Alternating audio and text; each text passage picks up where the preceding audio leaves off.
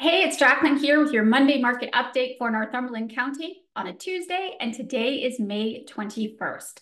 Last week, we saw a total of 25 homes sell in Northumberland, which is on par with the previous week, and we're currently sitting at 611 active listings in Northumberland County, which is an increase by roughly 6%.